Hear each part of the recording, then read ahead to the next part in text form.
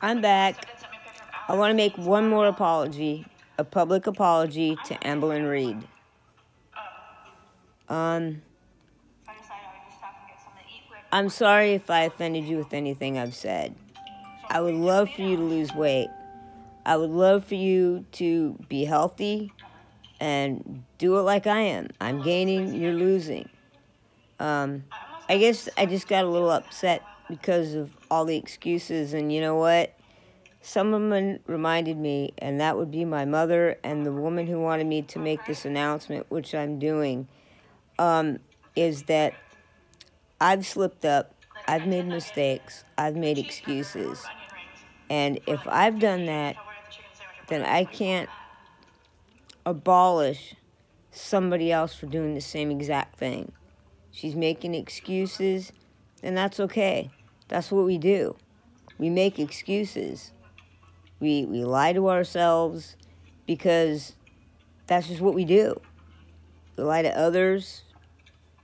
Um, you know, I remember, I, I, I mean, I remember, uh, well, I, I don't feel well, so I have to throw up. I didn't, I felt fine. I just wanted to throw up to get rid of what I ate. And she's doing the same thing, except not throwing up. She's eating too much. And I would love for her to cut back. Um, you know, cut back on sugars, cut back on, on salts, on the food that she's eating. I know she can do it. She's a strong person. Clearly, we know she's a strong person. And clearly, we know she's not stupid. She's very bright. So I think she can do this. I think she just needs a kick in the butt. And that's okay. We all need a kick in the butt sometimes. So, Amberlynn Reed, I am sorry. I never meant to offend you. I just wasn't thinking. You know, we get in this mindset that overeating isn't the same as anorexia, but it is the same. Same excuses, the same thoughts, the same ideas. Just never really thought of it before. So my mom brought it up, and these other people brought it up.